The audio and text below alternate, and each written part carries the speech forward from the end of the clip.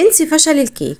من النهاردة هعلمك تعملي كيكة المحترفين ببيضة واحدة بس والكيكة هتطلع معاكي هشة وخفيفة ومرتفعة جدا ولونها فاتح زي كيكة الإعلانات بالظبط وبدون مضرب ولا خلاط.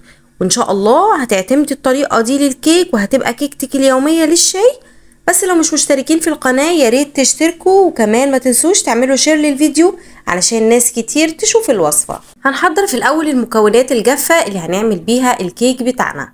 عندي كوباية ونص من الدقيق دقيق الكيك أو دقيق متعدد الاستعمالات هندخل بقى الدقيق بتاعنا كويس جدا ودي خطوة مهمة وأساسية وضرورية علشان الكيكة تطلع معاكي هشة وخفيفة وكمان تطلع مش مكتومة. لازم ننخل الدقيق بتاعنا كويس وممكن ننخل الدقيق كمان مرة واتنين وتلاتة علشان يديني أفضل نتيجة. هننخل عليهم بقى تلات معالق كبار من النشا.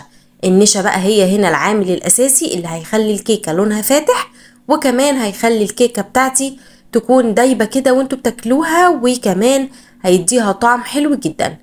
رشة من الملح أساسية في كل الحلويات والكيكات وكمان كيس من الكيك شيف أو معلقة كبيرة من ال baking powder دخلنا بقى كل المكونات دي مع بعضها كويس جدا.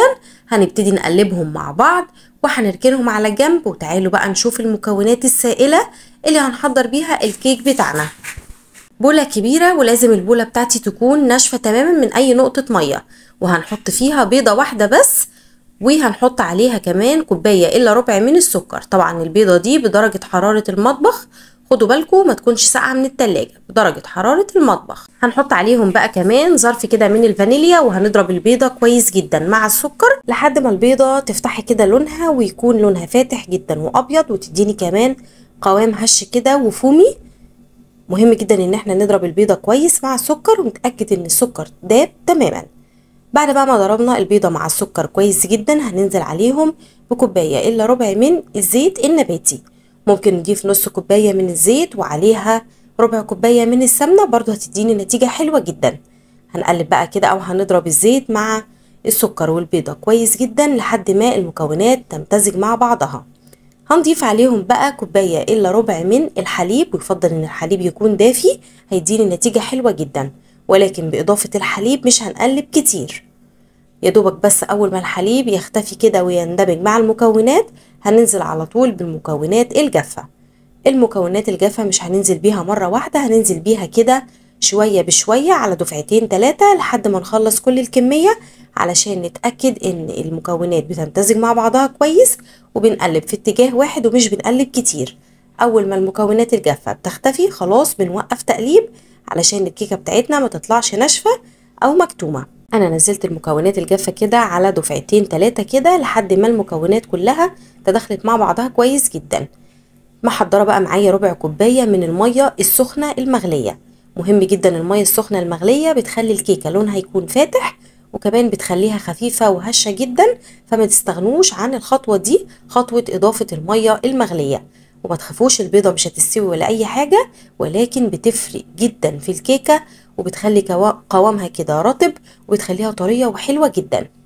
طبعا أنا مشغلة بقى الفرن دلوقتي على درجة حرارة 180 أول بقى ما أخلص المكونات دي وأقلبها كويس جدا هحطها في صينية تكون مدهونة بالزبدة وكمان عليها رشة من الدقيق. الزبدة بتدي لون حلو جدا للكيك وبتخليها معايا لونها كده بيكون من تحت زي فوق لونها زي الشمواه بيكون لونها حلو جدا. وكمان ما تنسوش إضافة معلقة كبيرة من الخل. آخر حاجة خالص في المكونات هتفرق جدا وهتدي هشاشة للكيك وهتقضي على زفارة البيض تماما وهتخلي الكيكة تطلع معايا لونها فاتح. تقدروا تستبدلوها بمعلقة كبيرة من عصير الليمون برضه هتديكوا طعم حلو جدا. الصينية اللي أنا استخدمتها كانت مقاس عشرين تقدروا تستخدموا مقاس 16 أو أو 18 أو مقاس عشرين. هندخل الكيكة لمدة نص ساعة وبعد نص ساعة هنختبرها بخلة. خشبية ولو استوت هنطفي بقى عليها الفرن وهنسيبها جوه الفرن لمدة عشر دقايق ونفتح باب الفرن كده علشان ما تهبطش معانا.